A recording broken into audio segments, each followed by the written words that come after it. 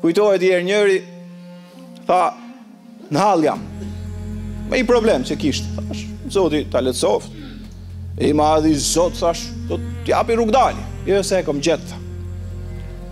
Ku e ke gjetë falë zoti, tha shkoha me i vend shenjt. Kam dërgu, tha çorapet atje dhe do më shpëtoj, tha i vend.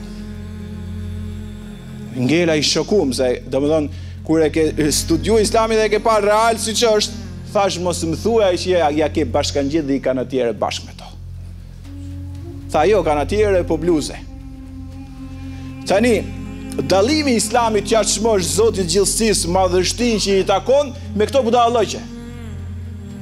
I thash o vlla, o të begatoftë i madhi zot, islam do të thot dituri, islam do të thot lexim, Islam real, që t'ia çmosh Zotit atë që ka zbrit.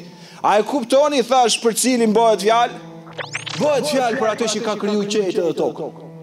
Bëhet fjalë për atë që ka sinkronizu njeriun në barkun e nënës. Bëhet fjalë për atë që ka bërë miliona sinkronizime që të ekzistojë toka. Bëhet fjalë për atë që ka krijuar diellin dhe sistemin diellor.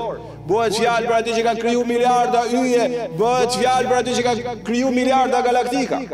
Dhe gjithë këtë madhështi dhe gjithë këtë kuran dhe gjithë këto profet dhe gjithë këto libra të shenjtë dhe gjithë këto mend që i ka dhon i madhi zot njerëzimit Kthehet kjo ke çorapi dhe ke bluzja dhe ke kanatjerja Hasha lillah Thash vlla, islam real Që t'i japësh zotit atë që i takon madhështisë së tij nuk është kanatjerja Është që Islamin ta kuptosh si arsim dhe dituri.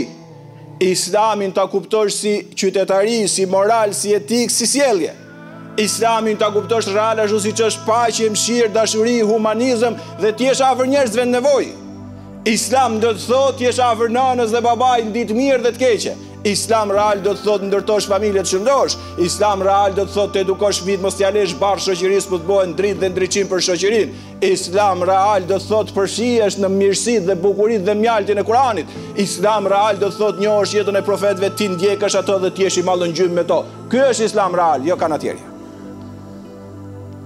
A është kjo? Kjo është thonë dijetarët t'ia çmosh Zotit madhështinë që i takon atij. Kshu e besojnë besimtarët dhe besimtarët e sinqertë. Kshu e besojnë muslimanët edhe muslimanët e sinqertë. Kjo do të thotë t'ia çmosh Zotit madhështinë që i takon.